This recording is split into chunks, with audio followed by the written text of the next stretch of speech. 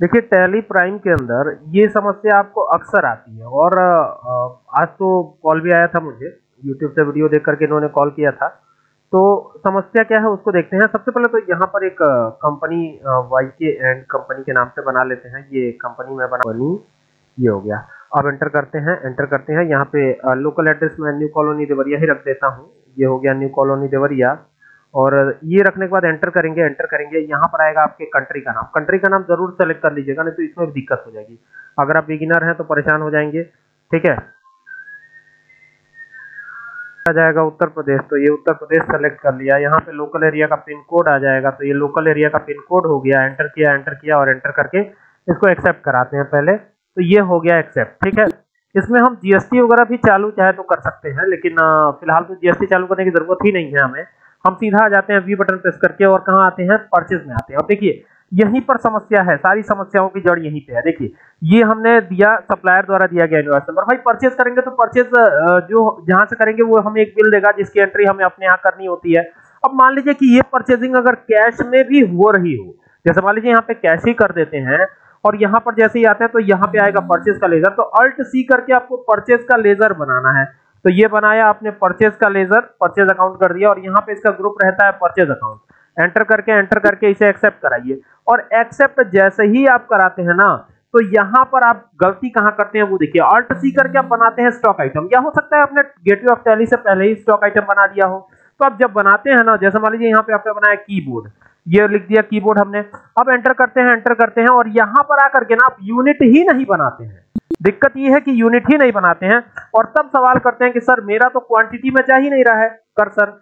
और जो है सीधा कहाँ कहाँ चला जा रहा है? अमाउंट में चला जा रहा है। तो ये दिक्कत तो आएगी ही आएगी क्योंकि आपने क्वांटिटी डाला ही नहीं है तो दिक्कत तो आनी ही आनी है। दूसरी दिक्कत कब आती है? जब आप गेटवे ऑफ़ टैली से ये बना लेते हैं। जैसे इन्वेंट्री इन्फो में गए स्टॉक आइटम में गए, मैं उसी को जो है अल्टर कर लेता हूँ या दूसरा स्टॉक आइटम बना लेते हैं। M O U S E mouse कर लिया एंटर किया एंटर किया एंटर किया। अब यहाँ देखिए, ये यूनिट है ना तो हम इसको बनाएँगे ज़रूर। जैसे मान लीजिए हमने यूनिट बना लिया एनओएस एनओएस का मतलब होता है नंबर्स आप समझ सकते हैं नंबर्स का मतलब कि कितना अमाउंट में ये परचेस किया गया। ठीक है, इसको डेसिमल प्लेसेस को तो ज़ीरो ही रखना है एंटर करके एंटर करके, इसे एक्सेप्ट कराइए। अब ये तो हमारा क्या बन गया? स्टॉक आइटम बन गया।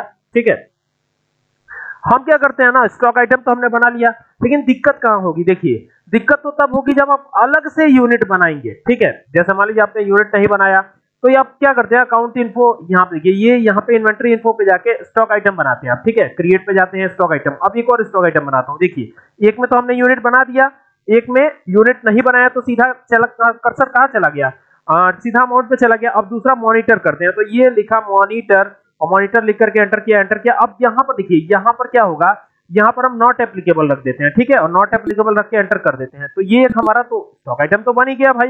लेकिन यूनिट बनाने के लिए आप क्या करते हैं? यहाँ पे यूनिट मेजर पे आते हैं और यहाँ पे क्रिएट करते हैं यूनिट ठीक है? अब जैसे यहाँ पर आपने बनाया सपोज़ कीजिए बनाया यहाँ पे पीसेज बना लिया या पीस बना लिया या पैकेट बना लिया, कुछ भी बना लिया, ऐसे पीकेटी पैकेट कर देते हैं या पीस कर देते हैं पीसीएस कर देते हैं पीस ठीक है? P I E C E piece कर दिया और यहाँ पे एंटर करके इसे एक्सेप्ट कराया। तो अब आपने बना तो लिया पीस लेकिन इसका यूज़ कहाँ किया? इसका यूज़ तो किया ही नहीं। तो ऐसे में दिक्कत होगी आपको। देखिए, यहाँ पर सप्लायर द्वारा दिया गया इनवॉइस नंबर डालेंगे एंटर करेंगे। यहाँ पे कैश रखेंगे एंटर करेंगे और यहाँ पर आएगा परचेज अकाउंट का लेजर अब यहाँ पर बात आती है, जैसे कीबोर्ड है माउस है मॉनिटर है तो यहाँ पे मॉनिटर आएगा तो सीधा कहाँ कर्सर चला गया? अमाउंट पे चला गया। दिक्कत यहीं पर है, आपने यूनिट बनाया ज़रूर, लेकिन स्टॉक आइटम बनाते समय उस यूनिट का यूज़ ही नहीं किया। जब यूज़ नहीं करेंगे तो कहाँ वो होगा? वो तो सिलेक्ट होगा ही नहीं, वहाँ तक पहुंचेगा ही नहीं तो दिक्कत तो होगी ही होगी। तो टैली में ये गलती आप नहीं करिएगा, ठीक है? अब गलती जो हुई है उसको सुधारने का क्या तरीका है? यहाँ पर आकर के आप आइए कहाँ पर? स्टॉक आइटम पर। ये आए, अब इसको अल्टर कर लीजिए। जब अल्टर करने जाएँगे तो ये मॉनिटर था हमारा तो इसको अल्टर करेंगे ना?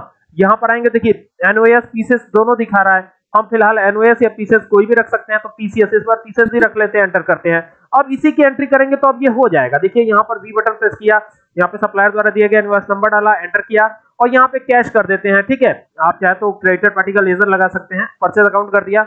यहाँ पे सॉरी मॉनिटर करना था ना तो यहाँ पे एम प्रेस करते हैं मॉनिटर के लिए ये मॉनिटर हो गया, और यहाँ पर जैसे ही आएँगे एंटर करेंगे तो ये देखिए, अब क्वांटिटी में आ गया आपका स्टॉक आइटम ठीक है?